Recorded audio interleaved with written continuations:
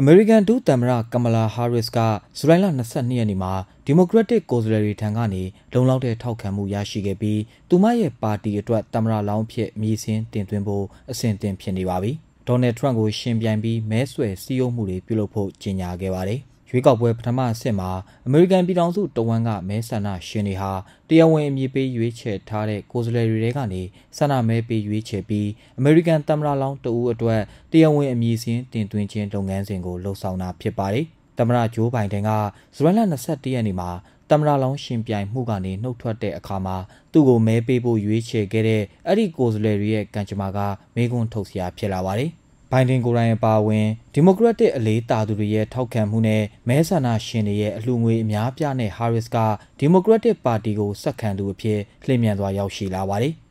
မကြာမီပြုလုပ်မဲ့မဲပေးမှုတွေတွင်ဒီမိုကရက်တစ်တမရလောင်းအမည်စင်းအတွက်လိုအပ်တဲ့ကိုယ်စားလှယ်လောင်းအရေးအတွက်4000တဲက1986မဲကျော်ရရှိပြီးကြောင်းကို American Media ကကြေညာပြီးတဲ့နောက်မှာဒီနေ့ညမှာအမည်စင်းတင်သွင်းနိုင်မှုကျမတို့ပါတီကနေကျေပြန့်တဲ့ပံ့ပိုးကူညီမှုကိုရယူနိုင်ခဲ့တဲ့အတွက်ဂုဏ်ယူမိပါတယ်လို့ Harris ကရေးသားခဲ့ပါတယ်။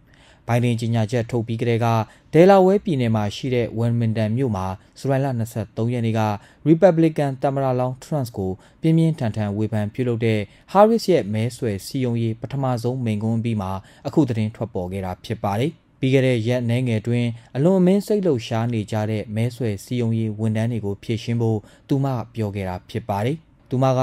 အရင်ကကယ်လီဖိုးနီးယားရဲ့အစိုးရရှေ့နေချုပ်အဖြစ်တာဝန်ထမ်းဆောင်ခဲ့တာကိုရည်ညွှန်းပြီးဥပဒေဖောက်ဖျက်ကျူးလွန်သူအလုံးကိုအရေးယူခဲ့တယ်လို့ပြောခဲ့ပါတယ်။အမျိုးသမီးတွေကိုစော်ကားသူတွေစားသုံးသူတွေကိုလိန်ညာသူတွေကိုကြိုးအတွက်ဥပဒေချိုးဖောက်သူတွေဒါကြောင့်ကျမပြောတာနားထောင်ပါကျမဒေါ်နယ်ထရန့်ရဲ့ပုံစံကိုသိတယ်လို့သူမကဆိုပါတယ်။နိုဝင်ဘာမှာကျမတို့အနိုင်ရမှာပါလို့ Harris ကဝန်ထမ်းတွေကိုပြုံးပြီးပြောပါတယ်။ နိုင်ငံရေးအပေါက်ကွဲစေတဲ့ကိုဝင်ဖြတ်ချမှုကိစ္စမှာဖက်ဒရယ်လုံပိုင်ခွင့်ကိုကာလရှည်ကြာလွှမ်းမိုးချုပ်ကင်လိုတဲ့တရားရုံးချုပ်ရဲ့ဆုံးဖြတ်ချက်ကိုထောက်ခံတဲ့ Trump ကိုသူမကဝေဖန်ပြီးအဲ့ဒီကိစ္စကိုအဓိကထားလှုပ်ဆောင်သွားမယ်လို့ကြေညာပါတယ်။အသက်82နှစ်ရှိပြီဖြစ်တဲ့ဘိုင်ဒင်ကကိုဗစ်ရောဂါခံစားပြီးနောက်ပြန်လည်ကောင်းမွန်လာပြီးတပတ်နီးပါးအကြာမှာပြည်သူတွေကိုပထမဆုံးမှတ်ချက်ပြုပြောကြားပါတယ်။ သူ့ရဲ့ကျမ်းမာရေးနဲ့စိတ်ပိုင်းဆိုင်ရာကြည်လင်မှုအပေါ်မဲဆန္ဒရှင်တွေနဲ့ပါတီကစိုးရိမ်တဲ့အတွက်နှုတ်ထွက်ခဲ့တာဖြစ်ပြီး Harris ကအကောင်းဆုံးဖြစ်တယ်လို့မဲဆွယ်စည်းရုံးရေးအစည်းအဝေးမှာပြောပါတယ်။ Harris ကထောက်ခံသူတွေပုံမအားကောင်းဖို့မျှော်လင့်ပြီး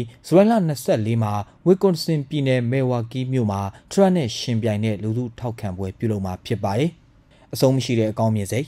ဘိုင်ဒန်ကထရန့်နဲ့အငင်းပွားဖွယ်ရာစကားစစ်ထိုးပွဲလှုပ်ဆောင်ပြီးနောက်သုံးပတ်ကြာဖိအားများနဲ့ကြုံတွေ့ခဲ့ပြီးနောက်တမရလောင်းဖြစ်ကနေနှုတ်ထွက်ခဲ့တာဖြစ်ပြီး Harris ကိုအမည်စင်းတင်သွင်းခဲ့တာဖြစ်ပါတယ်။ American တမိုင်းမှာပထမဆုံးအမျိုးသမီးတမရဖြစ်လာဖို့ရည်မှန်းထားတဲ့အသက်59နှစ်အရွယ် Harris ကထင်မှတ်မထားတဲ့ Democratic Party ရဲ့ထောက်ခံမှုနဲ့အနိုင်ရရှိခဲ့ပါတယ်။။ ဩဇာကြီးမားပြီးထင်ရှားတဲ့ American အောက်လွှတ်တော်ဥက္ကဋ္ဌဟောင်း Nancy Pelosi က Harris ကိုအဆုံးမရှိတဲ့အကောင်းမြင်စိတ်နဲ့ဂုဏ်ယူကြောင်းထောက်ခံပြောကြားခဲ့ပါတယ်။ဘိုင်ဒန်နှုတ်ထွက်ပြီး24နာရီအကြာမှာအလူရှင်တွေက Harris နောက်မှာရက်တီခဲ့ကြပြီးသူမမဲဆွယ်စီယုံမှုအတွက်ဒေါ်လာ83တန်းစံချိန်တင်ထည့်ဝင်ကြပါတယ်။သမရတမိုင်းမှာ တရက်တာအကြီးမားဆုံးသောအလှငွေထည့်ဝင်မှုပမာဏဖြစ်ကြောင်းစီယုံရေးအဖွဲ့ကထုတ်ပြန်ပြီးအခြေခံပြည်သူအလှရှင်၈သိန်း၈တောင်၈ထောင်တွေက60ရာခိုင်နှုန်းဟာ2024ရွေးကောက်ပွဲအတွက်ပထမဆုံးအလှငွေထည့်ဝင်ကြတာဖြစ်ပါတယ်။ဒါပြင် Harris ကအစ္စရေးဝန်ကြီးချုပ်ဘင်ဂျမင်နေတန်ယာဟုရဲ့ဝါရှင်တန်ခီးစဉ်မှာအခုသတင်းပတ်အတွင်းတွေ့ဆုံမှာဖြစ်ပြီးဘိုင်ဒန်နဲ့တိချာစီတွေ့ဆုံမှာဖြစ်ကြောင်းသူ့ရဲ့လက်ထောက်တူကပြောပါတယ်။ ဒေလာဝဲမှာကိုဗစ်ကြောင့်တိကျအနားယူနေတဲ့ဘိုင်ဒင်ကဇူလိုင်လ23မှာအိမ်ဖြူတော်ကိုပြန်ရောက်မှာဖြစ်ပြီး Harris ကအိမ်ဖြူတော်မှာကောလိပ်အားကစားသမားတွေနဲ့အခမ်းအနားတစ်ခုကျင်းပခဲ့တာမမေ့နိုင်တဲ့အမှတ်တရဖြစ်ပါတယ်။ဒီမိုကရေစီကိုချိန်ချောက်ခြင်းဘိုင်ဒန်ရဲ့အမ်ကန်နှုတ်ထွက်မှုက2024ပြိုင်ပွဲကိုအလှည့်အပြောင်းဖြစ်စေပြီးလူကြိုက်များခြင်းမရှိတဲ့အသက်ကြီးသူနှစ်ဦးကြားရှေ့လျားတဲ့ရှင်ပြိုင်မှုကိုအဆုံးတက်ပြီးခေတ်သစ်အမေရိကန်တမိုင်းမှာဆွဲဆောင်မှုအရှိဆုံးပြိုင်ပွဲတစ်ခုအဖြစ်ကိုပြောင်းလဲခဲ့ပါတယ်။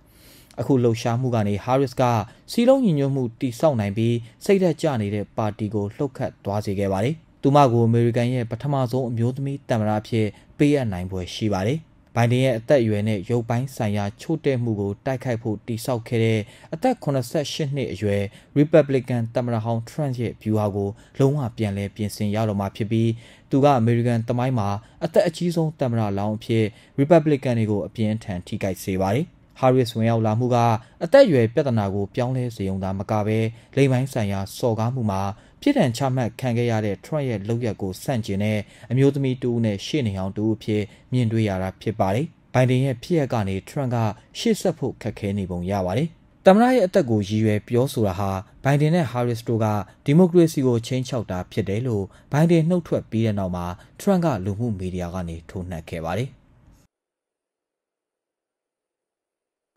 လွတ်လပ်သောမီဒီယာတွေဆက်လက်ရပ်တည်နိုင်ဖို့ပြည်သက်တွေရဲ့ထောက်ပံ့ပေးမှုဟာအကြီးမားဆုံးလိုအပ်ချက်ဖြစ်တာကြောင့်မြစီမ TV YouTube Channel မှာ Member ဝင်ပေးခြင်းဖြင့်ကူညီနိုင်ကြမယ်အသိပေးဖိတ်ခေါ်လိုက်ပါရစေ။